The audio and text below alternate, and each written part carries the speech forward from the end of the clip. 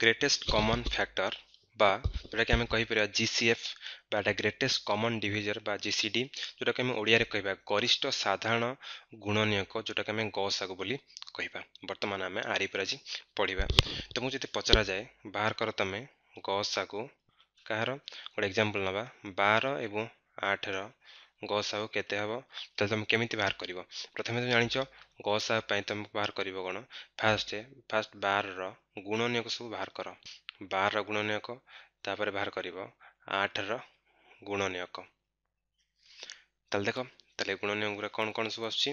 ଗୁଣନୀୟକ first ଆସିବ। ବାର ତୁମେ ଜାଣିଛ ପ୍ରଥମେ ଏକ ସେ ନିଜେ ଆସିବ ତାପରେ ଦୁଇ ଆସିବ ତିନି ଚାରି ଛଅ ବାର ସେଭଳିଆ ଆଠ କେତେ ଆସିବ ଆଠ ଏକ ଦୁଇ ଚାରି ଆଠ ତାପରେ ଦେଖିବ ସେ ହେଉଛି ଗରିଷ୍ଠ ସାଧାରଣଙ୍କ ଗୁଣନୀୟକ ତାହେଲେ ଏଇ ବାରର ଗୁଣନୀୟକ ଏବଂ ଆଠର ଗୁଣନୀୟକ ମଧ୍ୟରେ ସବୁଠାରୁ କମନ୍ କିଏ ଆସୁଛି କମନ୍ ମାନେ ସାଧାରଣ କିଏ ଆସୁଛି ପ୍ରଥମେ ତୁମର ଦେଖ ପ୍ରଥମେ ଏକ ଏକ ଆସିବ ସାଧାରଣ ଏଠି ମଧ୍ୟ ଏକ ଆସୁଛି ସେଇଭଳି ଭାବରେ ଏଠି କେତେ ଆସିବ ଆଉ ଗୋଟେ କ'ଣ ଆସିବ ଏଠି ଦୁଇ ବି ଆସିବ ଏଠି ଦୁଇ ମଧ୍ୟ ଆସିବ ଗୁଣନୀୟକରେ ଆସିଲା ତ ଆଉ କିଏ ଆସୁଛି? ଆଉ କିଛି ଆସୁନାହାନ୍ତି?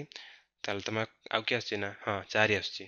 ଚାରି ଆସିଲା ଏଠି ମଧ୍ୟ ଚାରି ଆସିଲା। ତାହେଲେ ବୁଝିପାରିଲ ଗରିଷ୍ଠ ମାନେ କ'ଣ ସବୁଠୁ ବଡ଼? ତାହେଲେ ତିନିଟା ଭିତରେ ୱାନ୍ ଟୁ ଫୋର୍ ମଧ୍ୟ ସବୁଠୁ ବଡ଼ କିଏ? ସବୁଠୁ ବଡ଼ ହେଲା ଫୋର୍ ତାହେଲେ ଫୋର୍ ହେଉଛି ତୁମର କ'ଣ ନା ଗସାଗୁ। ତାହେଲେ ଗସାଗୁ ଅଫ୍ ଗସାଗୁ ବାର ଆଠର ଗସାଗୁ ହେବ କେତେ?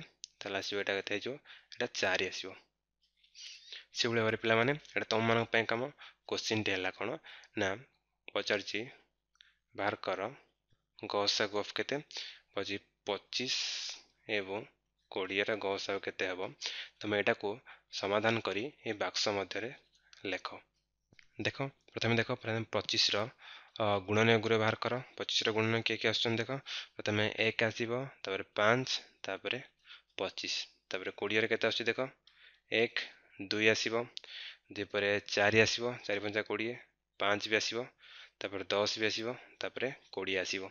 ତାହେଲେ ଦେଖ ଏମାନଙ୍କ ମଧ୍ୟରେ ସାଧାରଣ କିଏ? ମାନେ କମନ୍ଟା କିଏ ଆସୁଛି? ପ୍ରଥମେ ଏକ ଆସୁଛି କମନ୍ ଏଠି ମଧ୍ୟ ଏକ ଆସୁଛି ଏଠି ପାଞ୍ଚ ଅଛି ଏଠି ମଧ୍ୟ ପାଞ୍ଚ ଅଛି।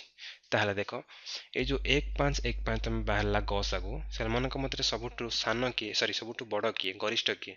ଗରିଷ୍ଠ ହେଉଛି ପାଞ୍ଚ ତାହେଲେ ଆମେ ଲେଖିପାରିବା ଗସାଗୁ ବା ଯେଉଁଟାକି ତୁମେ ବାହାର କଲ ଜି ସି ଡି ଅଫ୍ ପଚିଶ କୋଡ଼ିଏର କେତେ ହେଇଗଲା? ପାଞ୍ଚ। ଆଉ ଗୋଟେ ଉଦାହରଣ ଦେବା ପିଲାମାନେ ତାହେଲେ ତୁମେ ବାହାର କର ବର୍ତ୍ତମାନ। ଗସାଗୁ ଗସାଗୁ ଅଫ୍ କାହାର?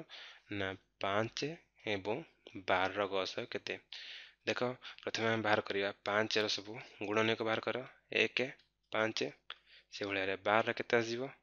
ଏକ ଦୁଇ ଆସିବ ତିନି ବି ଆସିବ ଚାରି ତାରିଖ ବାର ପାଞ୍ଚ ଛଅ ଆସିବ ଛଅ ଏବଂ ବାର ନିଜେ ଆସିବ ଦେଖ ଏମାନଙ୍କ ମଧ୍ୟରେ ସାଧାରଣ କିଏ? ସାଧାରଣ ପାଞ୍ଚ ଦେଖ ଏକ ଆସୁଛି ସାଧାରଣ ତାପରେ ପାଞ୍ଚ ଆଉ କିଛି ନାହିଁ ତାହେଲେ ଲେଖିବ ଗସାଗୁ ଅଫ୍ ପାଞ୍ଚ ଏବଂ ବାର। ସେମାନଙ୍କ ମଧ୍ୟରେ କମନ୍ ଆସୁଛି କି ଏକ। ତାହେଲେ ଗସାଗୁ ହେଇଯିବ ଏକ।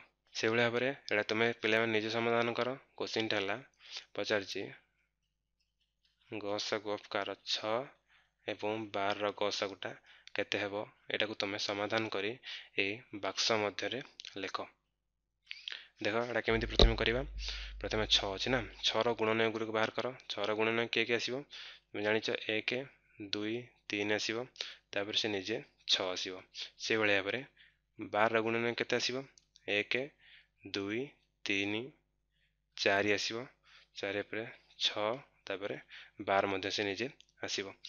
ତାହେଲେ ଦେଖ ଏବେ ବର୍ତ୍ତମାନ ଦେଖିବା ଆମେ ଏଇ ଦୁଇଟା ମଧ୍ୟରେ ସବୁଠୁ ମାନେ କମନ୍ କିଏ ସାଧାରଣ କିଏ ସାଧାରଣ ପ୍ରଥମେ ଆସିବ ଏକ ଆସିବ ଏକ ତ ସମସ୍ତଙ୍କ ପାଇଁ ସାଧାରଣ ରହିବ ତାପରେ ଦୁଇ ଏଠି ଦୁଇ ଅଛି ନା ନାହିଁ ଏଠି ଦୁଇ ଅଛି ତାହେଲେ ଦୁଇ ବି ସାଧାରଣ ଆସିବ ଏଠି ବି ଦୁଇ ଆସିଲା ତାପରେ ସେଇଭଳି ଭାବରେ ଏଟା କିଏ ଆସିବ ତିନି ବି ଆସିବ ତିନି ସାଧାରଣ ଆସିଲା ଏବଂ ତିନି ଏଠି ମଧ୍ୟ ସାଧାରଣ ଆସିଲା ତାପରେ ସେଇଭଳି ଭାବରେ ଏଠି ଦେଖ ଛଅ ଏଠି ତୁମ ଛଅ ଆସୁଛି ଏଠି ବି ତୁମର ଛଅ ଆସୁଛି ଦେଖ ତମେ କେତୋଟି ସାଧାରଣ ଗୁଣନୀୟ ପାଇଲ ଏକ ଦୁଇ ତିନି ଚାରି ତିନି ଆଉ ଛଅ। ତାହେଲେ ସବୁଠାରୁ ବଡ଼ କିଏ? ବଡ଼ ହେଉଛି ଛଅ।